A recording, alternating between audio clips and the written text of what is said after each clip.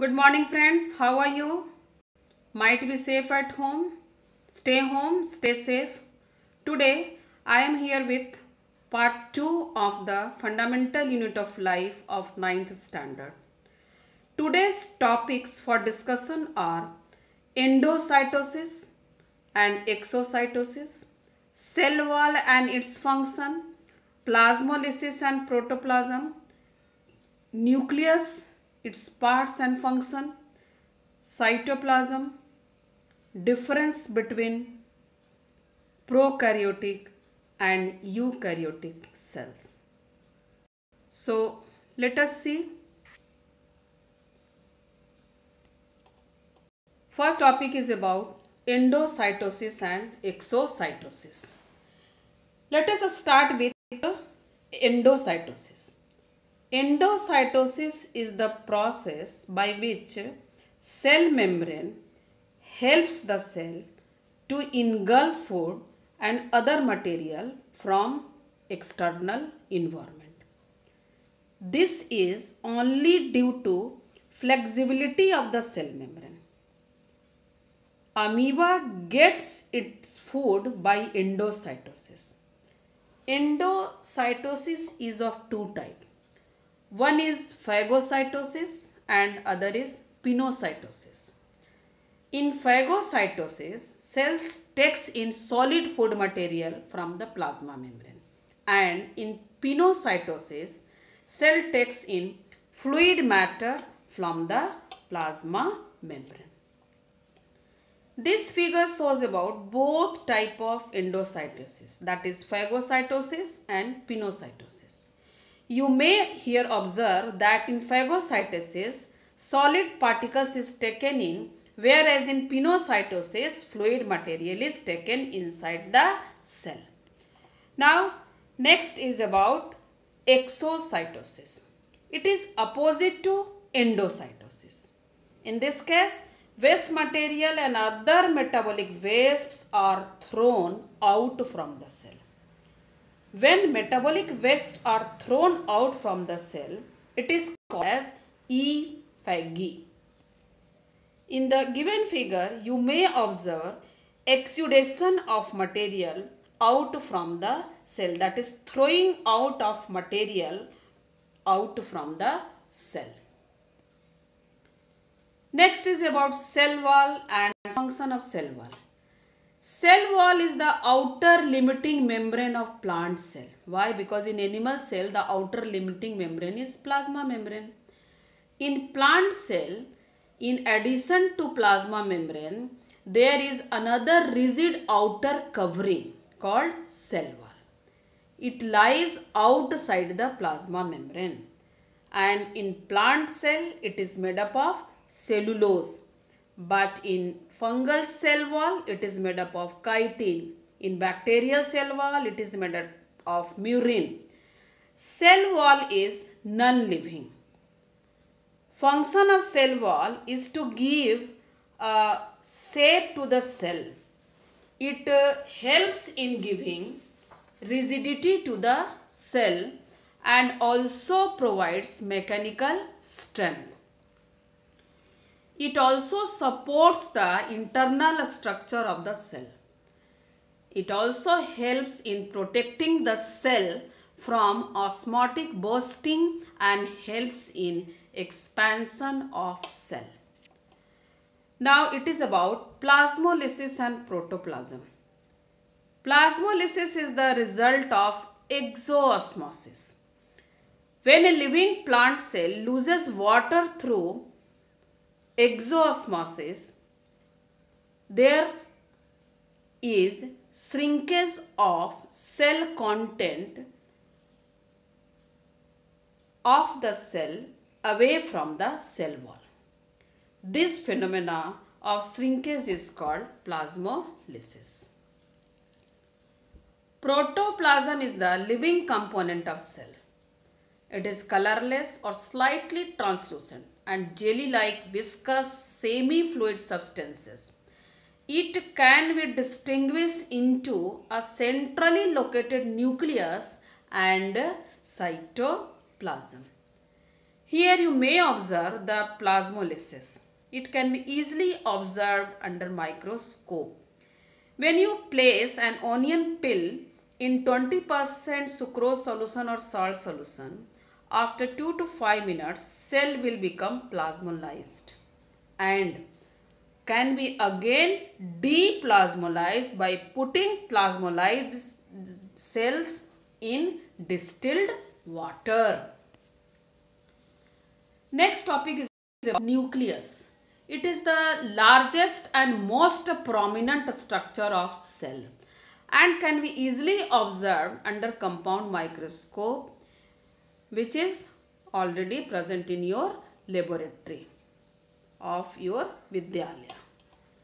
Generally, one nucleus is present in each cell and it is present in the center of younger cell but it is pushed toward periphery in mature cell.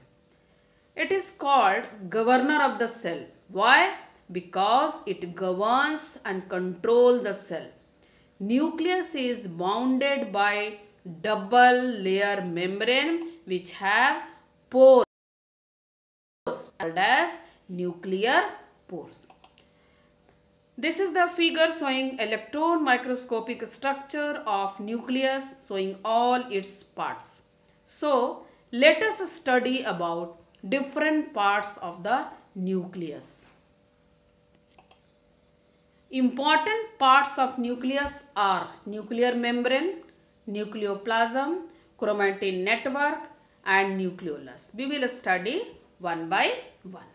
First is about nuclear membrane. It is double layered that separates nucleoplasm from cytoplasm. Nuclear membrane consists of number of pores that helps in exchange of material between nucleus and cytoplasm. It disappears during cell division. Second is about nucleoplasm. Nucleoplasm is the fluid which is present inside the nucleus. It is also called as karyolymph. It is a gel-like dense substance inside the nucleoplasm.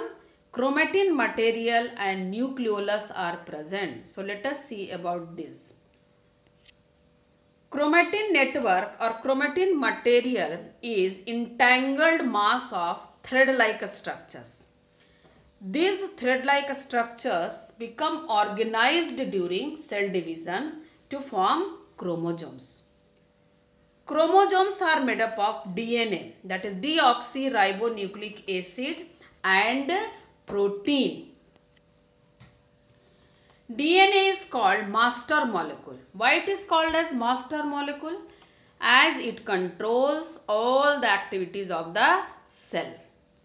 Functional segment of DNA are called genes which control the character. Number of genes are present on the chromosomes. Chromosomes are considered as hereditary vehicle because it helps in transmitting the character from parent to offspring. Last part of nucleus is nucleolus. It is spherical or oval body. It is generally bigger in size in those cells which are actively concerned with protein synthesis. Nucleolus is more prominent in non-dividing cells. It contains large amount of RNA and protein and also contains a small amount of DNA. Let us see about different functions of nucleus. Nucleus helps in maintenance of cell and cell division. It is required for transfer of characters from parent to offspring. It also helps in controlling various cytoplasmic activities of the cell. This is the electron microscopic structure of nucleus showing all its parts that is nuclear membrane or envelope, chromatin network and nucleolus. Now the next topic is about cytoplasm. The main component of cytoplasm is water containing fat, protein, carbohydrate and various organic substances. It helps in exchange of material between cell organelles and the process of glycolysis takes place in cytoplasm. Cytoplasm takes little stain.